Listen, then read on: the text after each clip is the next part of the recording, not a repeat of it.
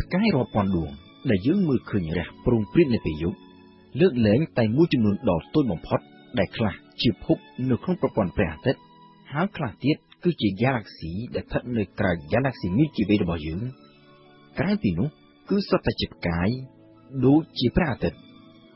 ព្រះអាទិត្យរបស់យើងទើបនឹងចុះកំណើតឡើងកាលពីប្រមាណជា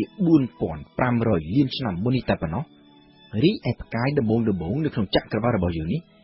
បានចាប់កកាត់ឡើងតាំងពីជាង13000លានឆ្នាំមុនមកម្ល៉េះពូលគឺតាំងពីចក្រវាឡរបស់យើង មានអាយុកាលទើបនឹងបានប្រមាណជា200លានឆ្នាំតែប៉ុណ្ណោះកាលពីដើមដំបូងឡើយនៅប្រមាណជាជិត40ម៉ឺនឆ្នាំក្រោយ Big Bang នៅពីពេញចក្រវាឡរបស់យើងទាំងមូលភាគច្រើនមានត្រឹមតែជាឧស្ម័នអ៊ីដ្រូសែនតែប៉ុណ្ណោះក៏ប៉ុន្តែ អ៊ីដ្រូសែនទាំងនេះក៏មិនមែនរាយប៉ាយដោយស្មើស្មើគ្នានៅគ្រប់ទីកន្លែងទាំងអស់នោះដែរដោយនៅកន្លែងខ្លះមានតិចកន្លែងខ្លះមានច្រើនហើយនៅកន្លែងដែលមាន density hydrogen ខ្ពស់កម្លាំងទំនាញក៏មានខ្លាំងជាងគេអាចទាញ hydrogen នៅជុំវិញនោះឲ្យមកប្រមូលផ្ដុំគ្នាបន្តិចម្ដងបន្តិចម្ដងរហូតក្លាយទៅជាដុំស្វះ hydrogen ដ៏ធំមួយដែលមានម៉ាសគ្រប់គ្រាន់ បង្កើតឲ្យមានទៅជាប្រតិកម្មនុយក្លេអ៊ែរនៅក្នុងស្នូលប៉ែកខាងក្នុងប្រតិកម្មនុយក្លេអ៊ែរនៅក្នុងស្នូលនេះហើយដែលបង្កើតទៅជាធម្មពលរួចហើយសាយភាយចេញពីស្នូលខាងក្នុងមកស្រទាប់ខាងក្រៅធ្វើឲ្យផ្កាយអាចបញ្ចេញកម្ដៅនិងពន្លឺជាប់ជាប្រចាំរហូតដល់ទៅរាប់លានឬរាប់ពាន់លានឆ្នាំដូចជាព្រះអាទិត្យរបស់យើងនេះជាដើម ដែលមានប្រតិកម្មនុយក្លេអ៊ែរបញ្ចេញជាកម្ដៅនិងពន្លឺអស់រយៈពេល4500លានឆ្នាំមកហើយហើយនឹងបន្តបាននេះនៅក្នុងរយៈពេលប្រមាណជា5000លានឆ្នាំតទៅមុខទៀតប្រតិកម្មនុយក្លេអ៊ែរនៅក្នុងស្នូលរបស់ផ្កាយក្រៅពីបានបង្កើតជាធម្មពលបញ្ចេញជាពន្លឺនិងកម្ដៅមកខាងក្រៅវាក៏ជាយន្តការដ៏សំខាន់មួយផងដែរក្នុងការផលិតសារធាតុដែលរឹងនិងធ្ងន់ធ្ងរជាងអ៊ីដ្រូសែន ហើយដែលជាសារធាតុចាំបាច់នៅក្នុងការបង្កើតឲ្យមានទៅជាភពដូចជាភពផែនដីរបស់យើងជាដើមនិងក្រៅមកទៀតបង្កើតទៅជាជីវសាស្ត្រចម្រុះរួមទាំងជីវិតរបស់មនុស្សជាតិយើងផងដែរនៅក្នុងស្នូលរបស់ផ្កាយឥទ្ធិពលនៃកម្លាំងទំនាញនិងសីតុណ្ហភាពដ៏ក្តៅរហូតដល់ទៅរាប់លានអង្សាធ្វើឲ្យអាតូមអ៊ីដ្រូសែនត្រូវច្របាច់បញ្ចូលគ្នាបង្កើតទៅជាអេលីយ៉ុមហើយចេញពីអេលីយ៉ុមនេះ បង្កើតបានទៅជាសារធាតុថ្មីថ្មីដែលមានអាតូមនិងម៉ាស់កាន់តែធ្ងន់ជាងមុនរួមមានដូចជាកាបូនអុកស៊ីហ្សែននិងដែកជាដើមដែលសុទ្ធសឹងតែជាសារធាតុចាំបាច់នៅក្នុងការបង្កើតជាភពនិងជាមូលដ្ឋានគ្រឹះនៃជីវិតក៏ប៉ុន្តែទោះជាយ៉ាងណា ប្រតិកម្មនុយក្លេអ៊ែរនៅក្នុងស្នូលរបស់ផ្កាយអាចបង្កើតបានជាសារធាតុដ៏ធ្ងន់បំផុតតែត្រឹមធាតុដែកតែប៉ុណ្ណោះដែលស្ថិតនៅលេខរៀងទី26 នៃតារាងលំដាប់អាតូមដូច្នេះសំណួរសួរថាចុះសារធាតុដែលកាន់តែធ្ងន់ធ្ងរជាងនេះរួមមានដូចជាមាសប្រាក់សំណឬក៏អ៊ីរ៉ានីយ៉ុមជាដើមតើកើតចេញមកពីណានៅពេលដែលយើងមើលដោយភ្នែកទទេយើងឃើញថាផ្កាទាំងអស់ដែលរះនៅលើមេឃនៅពេលយប់មានទម្រង់ប្រហាក់ប្រហែលគ្នា គឺជាចំណុចពណ៌សដូចដូចគ្នាទាំងអស់ក៏ប៉ុន្តែ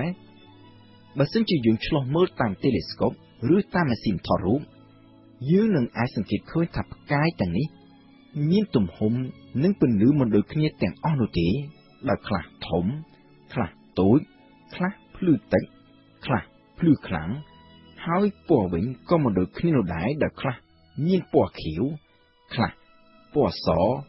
ខ្លះទៀតពណ៌លឿងពណ៌ទឹកក្រូចឬពណ៌ក្រហមជាដើមពណ៌ខុសៗគ្នាទាំងនេះ គឺសម្គាល់អំពីសីតុណ្ហភាពខុសៗគ្នារបស់ផ្កាយនីមួយៗផ្កាយដែលមានម៉ាស់ស្រាលមានប្រតិកម្មនុយក្លេអ៊ែរតិចមានសីតុណ្ហភាពទាបហើយបញ្ចេញពន្លឺពណ៌ក្រហមផ្កាយដែលមានម៉ាស់កាន់តែធ្ងន់មានប្រតិកម្មនុយក្លេអ៊ែរកាន់តែខ្លាំងមានសីតុណ្ហភាពកាន់តែក្តៅហើយពណ៌ក៏ផ្លាស់ប្ដូរខុសគ្នាទៅតាមនោះផងដែរគឺតាមលំដាប់លំដោយ ពីពណ៌ក្រហមសីតុណ្ហភាពទាបទៅពណ៌ទឹកក្រូចពណ៌លឿងពណ៌សនិងពណ៌ខៀវដែលជាផ្កាយដែលមានសីតុណ្ហភាពខ្ពស់ជាងគេបំផុតបន្ថែមពីលើនេះទៅទៀតពណ៌ខុសៗគ្នានេះក៏អាចកំណត់បានផងដែរអំពីអាយុជីវិតរបស់ផ្កាយនីមួយៗផ្កាយពណ៌ក្រហមដែលមានម៉ាស់ស្រាលហើយមានប្រតិកម្មនុយក្លេអ៊ែរតិចនិងយូរយឺតអាចមានអាយុវែងរហូតដល់ទៅលើសពី 10,000លានឆ្នាំក៏មាន ចំណែកឯផ្កាយពណ៌ខៀវវិញ ដែលជាផ្កាយមានម៉ាស់ធ្ងន់មានប្រតិកម្មនុយក្លេអ៊ែរខ្លាំងនិងលឿនហើយសារធាតុដែលចាំបាច់សម្រាប់ប្រតិកម្មនុយក្លេអ៊ែរនេះក៏ត្រូវប្រើឆាប់អស់ដែលជាហេតុធ្វើឲ្យផ្កាយទាំងនេះមានអាយុខ្លីដល់ខ្លះបានត្រឹមតែប៉ុន្មានលានឆ្នាំតែប៉ុណ្ណោះម្យ៉ាងវិញទៀតជីវិតរបស់ផ្កាយធំធំអស់ទាំងនេះ ក៏មិនបញ្ចប់ទៅនៅក្នុងសភាពស្ងប់ស្ងៀមនោះដែរផ្ទុយទៅវិញវាបញ្ចប់ទៅដោយបង្កឲ្យមានទៅជាហេតុការណ៍ផ្ទុះដ៏ខ្លាំងបំផុតមួយដែលគេឲ្យឈ្មោះថា supernova កម្លាំងផ្ទុះដ៏ខ្លាំងក្លានៅក្នុង supernova នេះហើយដែលបង្កើតឲ្យមានទៅជាសារធាតុដែលមានអាតូមនិងម៉ាស់ធ្ងន់ធ្ងរដូចជាមាសប្រាក់សំណឬអ៊ុរ៉ានីយមជាដើមសារធាតុអស់ទាំងនេះ បូករួមជាមួយនឹងសារធាតុផ្សេងទៀតដែលកើតឡើងនៅក្នុងស្នូលរបស់ផ្កាចាស់ត្រូវកម្លាំងផ្ទុះធ្វើឲ្យបាច់សាច់ចេញទៅក្នុងលំហអវកាសហើយក្រោយមកទៀតវាคล้ายទៅជាធាតុផ្សំសម្រាប់បង្កើតផ្កាថ្មីទៀតទៅតាមយន្តការនៃកម្លាំងទំនាញដូចកាលពីមុនយន្តការនៃការស្លាប់ផ្កាចាស់ហើយបង្កើតទៅជាផ្កាយថ្មីបែបនេះចេះតែបន្តកើតមានជាប់ជាប្រចាំហើយពីចំនួន1ទៅចំនួន1 ពី supernova 1ទៅ supernova 1សារធាតុថ្មីថ្មីនឹងកាន់តែធ្ងន់ធ្ងរក៏ចេះតែកើតមានឡើងកាន់តែច្រើនរហូតដល់អាចប្រមូលផ្ដុំគ្នាបង្កើតបានទៅជាភពដែលមានធាតុផ្សំជាសារធាតុរឹងដូចជាភពផែនដីរបស់យើងអ្នកតារាសាស្ត្រជាទូទៅកំណត់ថាភពដំបូងដំបូងបានចាប់កំណត់ឡើងតាំងពីប្រមាណជាជិត13,000លានឆ្នាំមុន ពូលគឺក្រោយ Big Bang តែប្រមាណជា900លានឆ្នាំតែប៉ុណ្ណោះក៏ប៉ុន្តែភពដែលកើតឡើងដំបូងដំបូងនេះគឺជាភពដែលមានធាតុផ្សំជាឧស្ម័នដូចជាភពទាំង4នៅប៉ែកខាងក្រៅនៃប្រព័ន្ធព្រះអាទិត្យរបស់យើងគឺភពប្រហ័សភពសៅរ៍ Uranus និង Neptune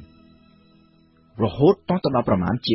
3000ទៅ4000លានឆ្នាំក្រោយ Big Bang ទើបភពដែលមានធាតុផ្សំជាសារធាតុរឹងបានចាប់កំណើតឡើង គឺជាភពដែលមានទម្រង់ស្រដៀងនឹងភពផែនដីរបស់យើងនិងភព3ផ្សេងទៀតនៅប៉ែកខាងក្នុងនៃប្រព័ន្ធព្រះអាទិត្យគឺភពពុទ្ធភពសុក្រនិងភពអង្គារ